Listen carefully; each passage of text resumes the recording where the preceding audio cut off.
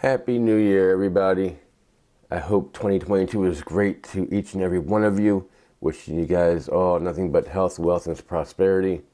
I've been sick for the past week, so now I can't sleep. I've been in bed for days and days and days. Now I can't sleep. It's almost 4 a.m., and I've been just charting, just looking at charts and looking at charts. Found something interesting on Ethereum. I want to share with you guys. I want to show you how I set up and how exactly I trade a double bottom because that's what I'm seeing right now on Ethereum. Stay tuned. I'm going to tell you all about it.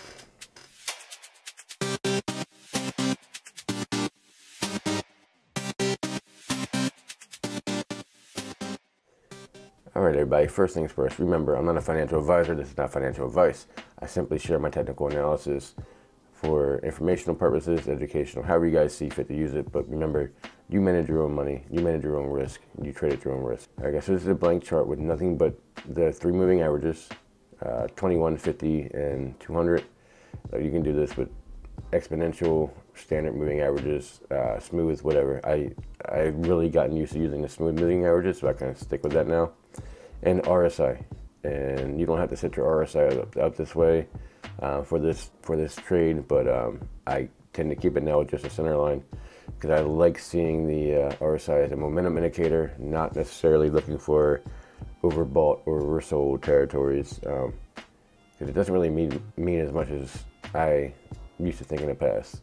Overbought and oversold doesn't isn't as important as I thought it was. Now, with that being said, we have a empty chart, and first thing we're going to do is we're going to set up lines of support resistance. This is just going to be horizontal lines where we've seen um, where we've seen price action.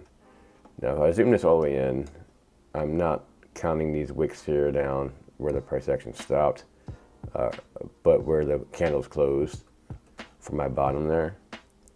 And I could go all the way to the very bottom, to the to this very low wick. That's not necessary for this trade.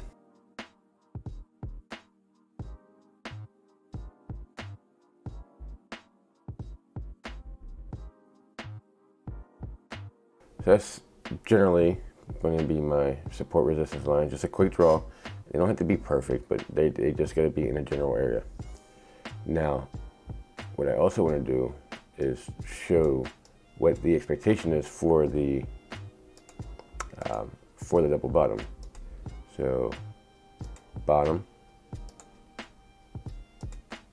rebound and rejection, double bottom, rebound with a break of resistance. That's it. That's a double bottom. And it, this draw is not perfect, but it's very close. I want to show this is the uh, typically what you would look for with a double bottom.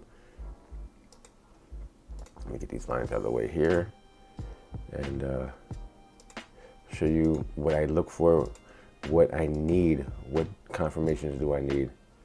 So first thing, a trend line.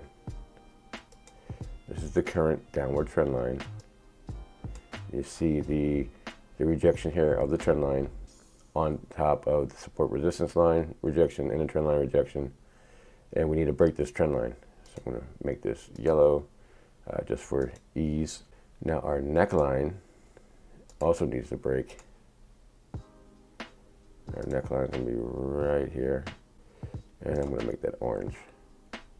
Nope, I want to make that green because green that's gonna be your that's gonna be where you enter. You're gonna enter at the break of the neckline, and then here, right around the midpoint of the the uh, rejection in the bottom, somewhere near the midpoint, is going to be our stop loss. Now, if you want, you can also take this. Profit taking target would be here um, and that would be roughly $4,000. What other confluences are we looking for? Because we've got a trend line. We know we got to break the trend line. Then we got to break the neckline. Neckline needs to break before we buy. What we also have is we have our low here, and then we have our double bottom low here, same spot. But we have bearish or bullish RSI divergence because we have an RSI here and the same low with a much higher RSI here. So we go from a low, from a valley of an RSI reading at 23 to an RSI of 29.74. So you can see that there's, there's an angle there. There's a straight line here. There's an angle up here. That is a bullish divergence. That tells you that bullish momentum is on the way. And you can already start to see that because we're starting to make a nice bullish candle here. And this may actually break sooner than I anticipated. Might be why I can't sleep yet. But we have bullish divergence. We know we have our trend line needs to break. Neckline needs to break. We buy the break of the neckline. Stop loss here before you cross back over. If this breaks out here, your stop loss needs to be before you cross back into the trend line. That's it, guys. It's an easy trade. Um, you just gotta find them. You have to find the double bottoms. And actually, I have one on Bitcoin where you should be able to see. Bitcoin is very similar right now. Bitcoin made a double bottom, and it has um, very bullish divergence here. You can see the low, the highest low on price is the lowest low on the uh, RSI. And the last time we had a very clean double bottom, bottom, bottom, with bullish divergence, with a clean midpoint.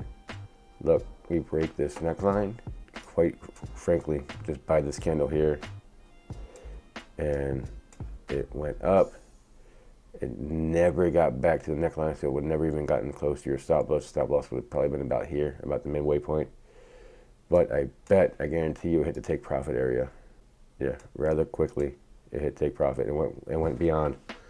So I've got alarms set up right now for Bitcoin and Ethereum for the break of the neckline and the break of the uh, trend line. So that's it, guys. There's there's a previous an example, and then what's actually happening now. But the, the bullish divergence on these lows is super important. Um, it really does help show the momentum shifting back to bullish. So with that being said, guys, that's the video. I hope you enjoyed. Uh, sorry, the voice isn't as enthusiastic. Everything is not quite there yet, but uh, be working to get back. Until next time, peace.